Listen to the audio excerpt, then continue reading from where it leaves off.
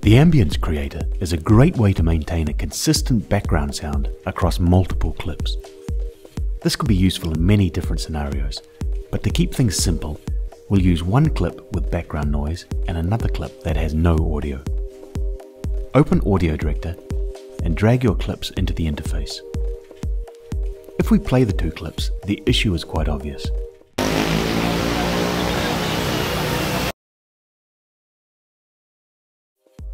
If we're going to put these clips together in a cohesive video project, we need background audio for the second clip in order to avoid distracting the attention of our audience. In the Edit module, select your clip that has audio, click Adjust Audio and select Ambience Match from the drop-down menu. From here there are two options for ambience creation. The first is to use a preset. Several options are built in and ready to use. Perhaps one of these could be used on our soundless clip, but what we're after is using this clip to create our very own ambience profile.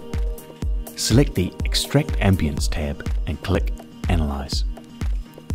AudioDirector will then analyze your clip and create a new ambience profile, which can be tested by clicking Ambience at the bottom of the screen. You can then click Save as Preset and name it add this ambience profile to the preset list you saw earlier. Now that you have new ambient sound, you can exit the window by clicking either cancel or the X symbol and select your other soundless clip.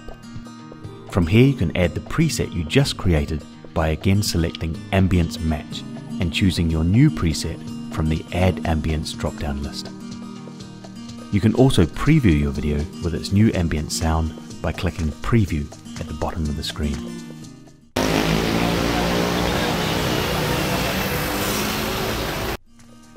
You can compare by clicking Original Audio as well. In this case we don't have any original audio, but this is quite useful if you're applying an ambience match to a clip with pre-existing audio. When you're satisfied, click Apply and exit the screen.